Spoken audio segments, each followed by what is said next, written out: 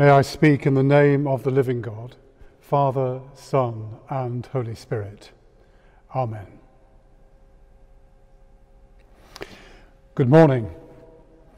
I am delighted to be with you at Dean Jerry's invitation, and I bring warm good wishes from your sister cathedral in Wakefield.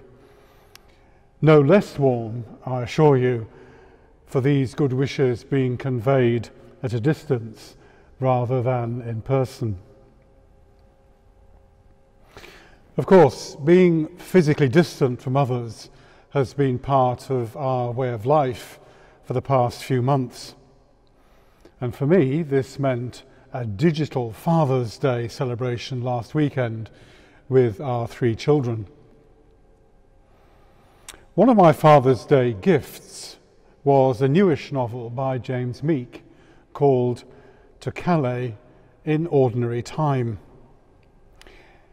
It's set on the eve of the arrival of the Black Death in England in 1348.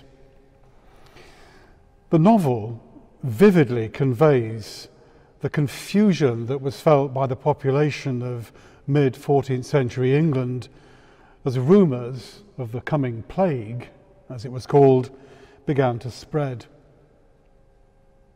There is apprehension, skepticism, confusion, and dark humour. It's very much a novel for our times.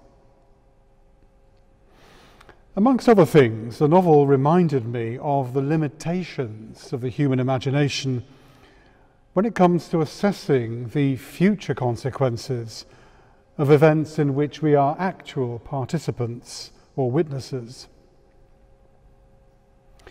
In the case of the Black Death, those consequences included massive changes in the social and economic structures of society, the creation of new centres of learning to train the large numbers of clergy needed to replace those who had died. There were accelerated developments in medicine and even cultural shifts in literature art, and architecture. But all these consequences took years, decades, even centuries to become apparent. For those living through the plague, the only reference points for understanding what was happening and what the events might mean were the past and the present in 1348 to adapt a phrase of L.P. Hartley the future was a foreign country in which they would do things differently.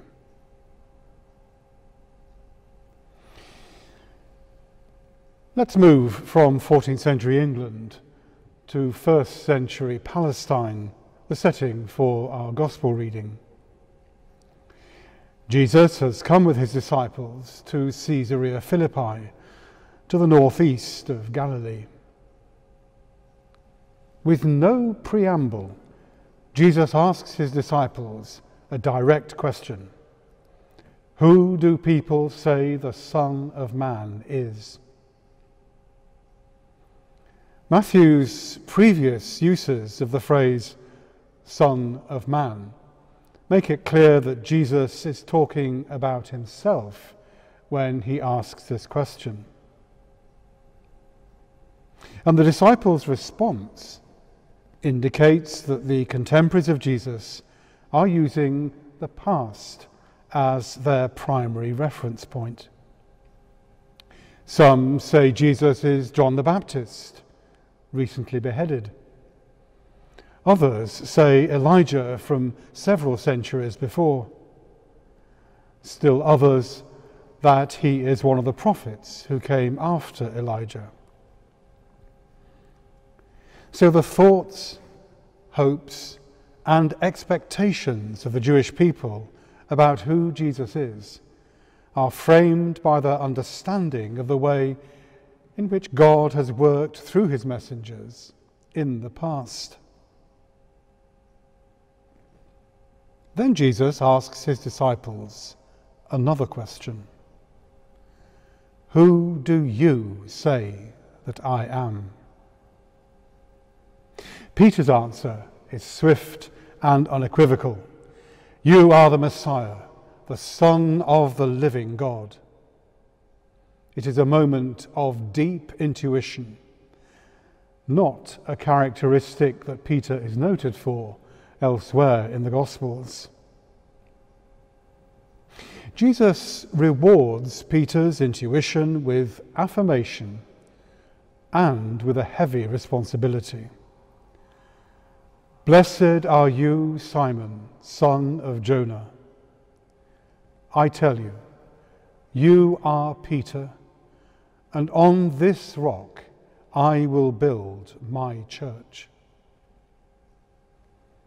Jesus has recognized that Peter's insight is a revelation from God, a revelation made possible by Peter's faith that God will act decisively in history through his own anointed one, his Messiah. But at the very end of this incident, Jesus orders the disciples not to reveal his true identity to anyone.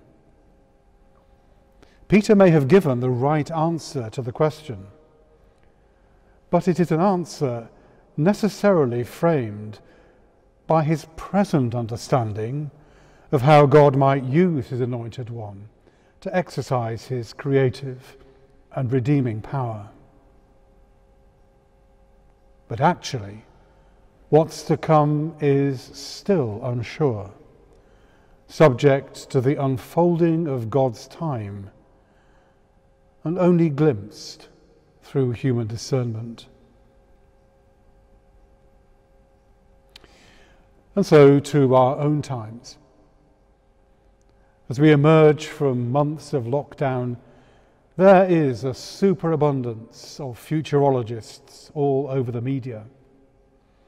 The environment, world trade, personal finance, geopolitics, information technology, retail. There is no area of human activity, it seems, that has not been subject to intense speculation about its post COVID future. The Church has not been immune to this sort of speculation. Our buildings, stipendiary ministry, digital worship, governance, what will our future look like? For Christians, it seems to me at least, much of this speculation, including about the church, has often missed the point. Whether we are talking about the church or about anything else, the future does not belong to us. It is not ours to possess. Listen to God's words as spoken through the prophecy of Isaiah.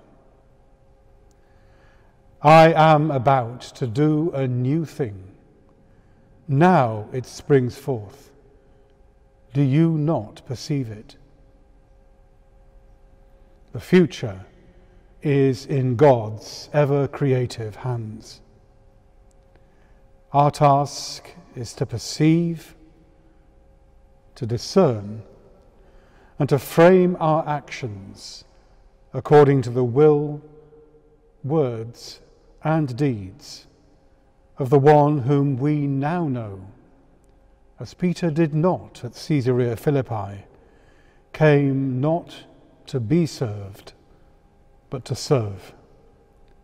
Jesus Christ, our risen Lord.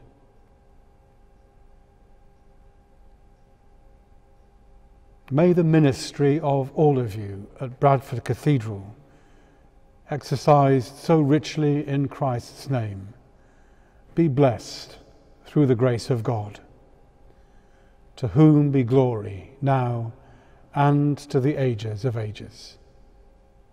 Amen.